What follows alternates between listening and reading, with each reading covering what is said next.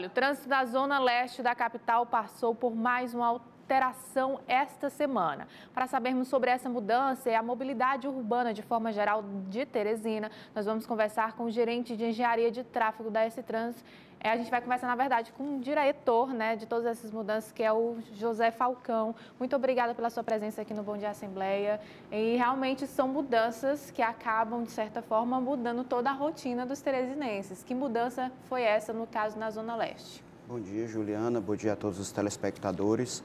São intervenções que vêm para que a gente consiga adaptar a nossa malha viária a essa crescente na nossa frota de Teresina. Só para que tenhamos ideia, em pouco mais de cinco anos, nós tivemos um crescimento de mais de 100 mil veículos na nossa cidade, que dá uma média aí de 20 a 30 mil veículos por ano.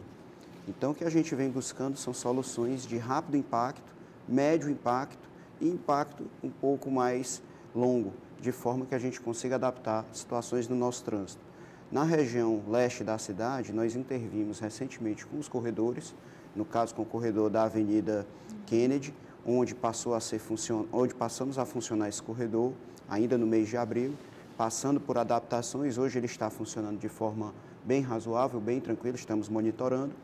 E temos agora recentemente um avanço da obra da galeria, que vem sendo tocada pela Prefeitura por meio da SDU Leste, e para o apoio nos desvios de tráfego, a S-Trans está presente na questão dessa, dessas intervenções. No caso, a gente fez uma intervenção ali nas imediações da sede da Polícia Rodoviária Federal, mais precisamente na rua Alzira Pedrosa, passando a ter sentido único, justamente para facilitar esse desvio de tráfego, para que a obra da galeria possa avançar. Lembrando que teremos durante essa, essa semana, fim dessa semana e a próxima semana, a rua Miguel Arcoverde bloqueada, em virtude do avanço dessa obra da galeria que é tão importante para a região leste da nossa cidade. Diretor, quando a gente fala da importância né, da construção dessa galeria e tudo, da reforma da galeria, mas todas essas mudanças no trânsito têm causado algum tipo de estranheza para a população. Então a gente está recebendo bastante reclamação desse novo trecho. O que está sendo feito então para a orientação da população que passa por aquele local? É, na verdade, Teresina ela passou por várias intervenções nos últimos anos de uma forma rápida e de uma forma intensa. A gente tinha, no fim de 2013, aproximadamente 3 quilômetros de faixa exclusiva, que era apenas, que compreendia apenas a Frei Serafim e um trecho entre a Avenida Maranhão e a, e a Rui Barbosa da Avenida Areolino de Abreu.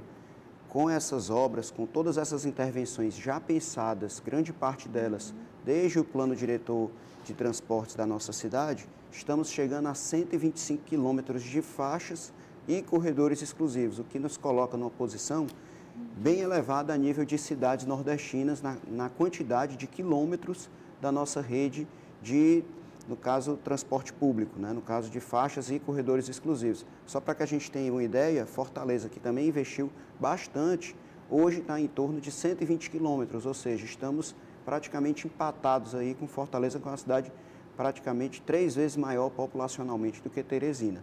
Então, o que a gente vem buscando é favorecer o transporte público, que é um transporte sustentável para a cidade, uma vez que o transporte individual não vai ter é, é, uma sobrevida muito longa. Como eu mencionei, nós, nós temos um crescimento médio de 20 a 30 mil veículos por ano.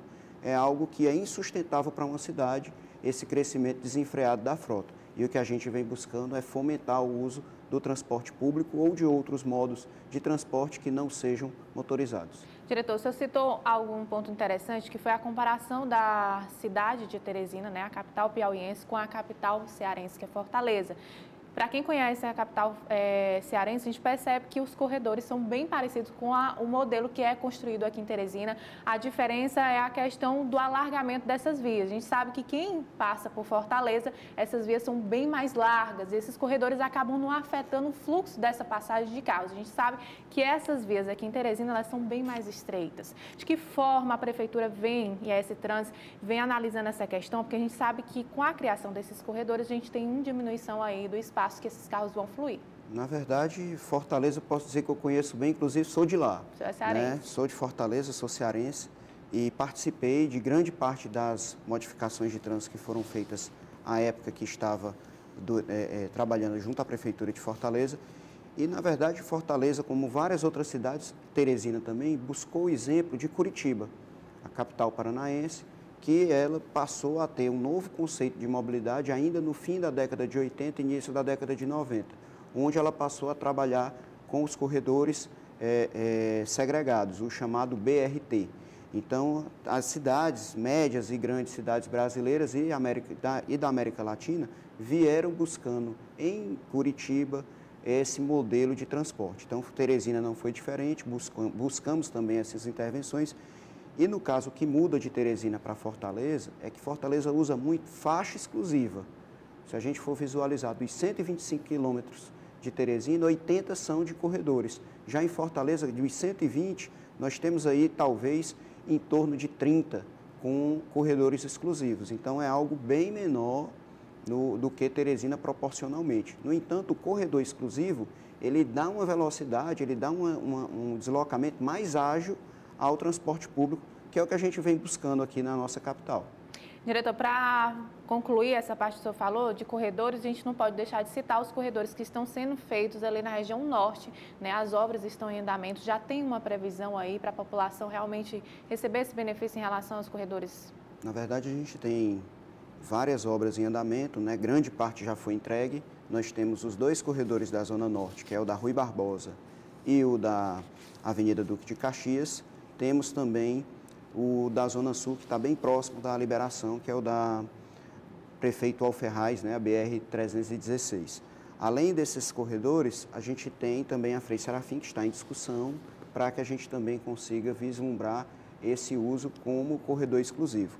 Com relação a prazos, a gente vem trabalhando o mais fortemente possível para que dentro de, 2000, é, dentro de 2019 consigamos entregar todos esses corredores, com exceção da Frei Serafim, que ainda está com esse debate. Nossa entrevista chegando ao final, mas ainda falando da zona norte da capital, a gente vai ter mudanças ali na Alves de Noronha com a Jerumeia, que também é, abrange essa região norte da capital. Exatamente. Além dessas intervenções de mobilidade no que tange a faixas e corredores exclusivos, a Prefeitura também vem trabalhando com novas pontes. A gente tem o exemplo aí da ponte Anselmo Dias, que liga a região sudeste à região sul da cidade, e temos, que, é, temos também a ponte que liga ali a região próxima à UFP até a região do Buenos Aires.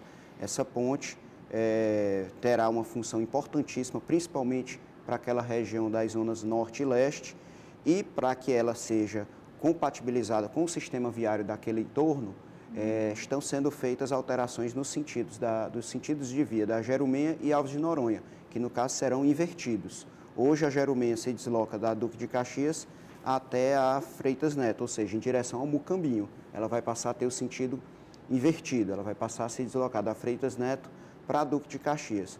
E no caso Alves de Noronha, da Freitas, da, da Duque de Caxias até a Freitas Neto, fazendo assim com que haja essa inversão do sentido para que a gente consiga compatibilizar com o funcionamento da nova ponte. Tá ok, então a gente agradece a participação do diretor de Trânsito e Sistema Viário da S-Trans, José Falcão. Muito obrigada pelas informações e desejo um ótimo dia.